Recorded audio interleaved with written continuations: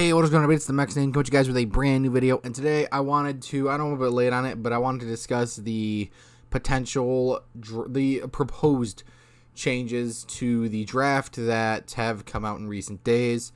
That being the decentralization of it. So, if you guys don't know, Elliotte Friedman tweeted this out uh, on October 18th, so like two days ago. Uh, the NHL officially notified teams that would like to hear their opinions on decentralization of the draft, having clubs stay at home, all, attend, all prospects attend, like the NFL and the NBA, stuff like that. If there is desire for changes, would most likely be in 2025, outside chance for 2024. So if you guys don't know, uh, the decentral the a decentralized draft is essentially like if you I'm sure if you guys watch this channel, you know about the NFL and the NBA drafts where basically the team stays at their home base. So, you know, Detroit, like Steve Yzerman would stay at LCA or wherever. Uh, Montreal would stay where they are, Edmonton where they are, Toronto where they are, Dallas where, you know, they stay at home base essentially. While the prospects and fans attend the draft, and the way the NFL and the NBA does it, they have the commissioner read it. I don't think anybody wants to see Gary Bettman read off the names. So they'll, they'll have to figure that out because having Gary Bettman read the names of like let's say the off chance to do for 2024, having Gary Bettman come up and say so and so draft with the first overall draft pick selects Macklin Celebrini, I don't think anybody wants to hear that. So they'll have to figure that out. But personally, it's I'm a bit 50-50 on it because on one on one hand, I really in I, I like that they have the GMs of the team coming up to make the pick. It makes it more personal to me. You know, instead of having the commissioner say them, and then it just kind of feels like this whole corporate style. You know, you're here for the N- you're here for the NFL and not the team. You know, when the GM says it, it seems more like you're being picked by the team for the team, and not by the league for the league. Stuff like that. So I like it on that hand, but on the other hand, if you watch the NFL and the NBA, they do fantastically with this. Like, yes, I don't like the commissioners reading the draft picks, but the way they do it, it's very fan involved. And I listened to the latest episode of the Winged Wheel podcast, by the way, which was uploaded, posted today, last night, technically, I think. It was like 4 in the morning or some shit. I only know that because I posted that stupid video that is up on the channel right now. I, like I said, I, they do it great with the fan experience. And I think the NF, the NFL, the NHL could do that really well. You know, they could have a section for each team, and then whenever your team has their pick, you shuffle those fans out. You know, you shuffle them to a certain part where each prospect that gets drafted by that team can interact with the fans and stuff like that. I think that would be dope. And there is it, it, it, like I said, the NFL. I don't know if the NFL and the NBA really do that. Uh, I think the I think they do. I don't know. I don't really care for either league. I mean, the NFL, yes, because the Lions are doing really good, but the NBA, I don't really care about in general. Even if the Pistons were fantastic, it is an interesting concept because it's different. Because uh, up to this point, I think the NHL is really the only league that doesn't have the commissioner read their their draft and their draft pick. And I think the way to get around having the commissioner do that is like on the Winged Wheel podcast. I think that each team should pick a representative.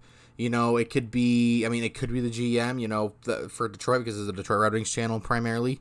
Uh, let's just say it could be Steve Yzerman, but if Steve Yzerman didn't want to do it or couldn't do it because he was making the picks, so it likely wouldn't be, you could send, I don't know, say Niklas Kronwall up there. Or hell, send Chris Osgood up there. Or you know, it would be great if you put Mickey Redmond up there. That I think that'd be fantastic. But you know, you could pick somebody who has root. It doesn't even have to be like NHL related. You could send Jason McCrimmon, you know, the guy who won the Willie O'Ree Community Hero Award this year up there. I think that would be dope for Detroit. Uh, you know, you could send local people who are big in the community to go up there and do it. So you could get around it like that, and I think that would be fantastic, especially if you have someone like Jason McCrimmon go up there and do that. It brings more of a feel of community to it instead of having the commissioner or even the GM, you know? Because, like I said, if the commissioner, when the commissioner calls your name or your prospect up, you know you drafted them, it feels like you're being drafted to the league. If the GM does feel like you're being drafted to the team, but if somebody from the community does it, like Jason, it feels like you're being drafted to the community. And I feel like that is a fantastic way to get prospects invested in trying to make that team and being able to make that team. So I think that's a fantastic idea. And I think that's really the only po- those are the only possible ways you can get the decentralization of the NHL draft to work. Because up until then, because you know, up until this point, De- Detroit has been the most intuitive, I guess. I, I can't say. Oh, I said Detroit. The NHL hasn't been the most fan friendly for drafts. You know, yeah, you've got you're you've got people there to watch the draft and stuff like that, but you've got the whole thing. Like you've got pretty much the entirety of the main floor covered in tables for your for the teams. You know, the you got Detroit has a table, Ottawa has a table, Dallas has a table, Anaheim has a table. You know, you've got a whole part where it could be used. You put your prospects where the tables are, where you know normally the you know draft teams would be. Then you put your fans up in the stands wherever they may be, and then you move the fucking press stuff backstage. You don't have to have that on the floor. So there is ways that this could work, and I genuinely believe that if they would do it, though, that's the only way they can do it. Because, like I've said like four times, nobody, nobody wants to see Gary Bettman get up and announce their prospect. You know, nobody wants to see Gary Bettman get up there and announce with the first overall pick of the 2024 draft, San Jose Sharks select Max, you know, Celebrini. They don't want to see that.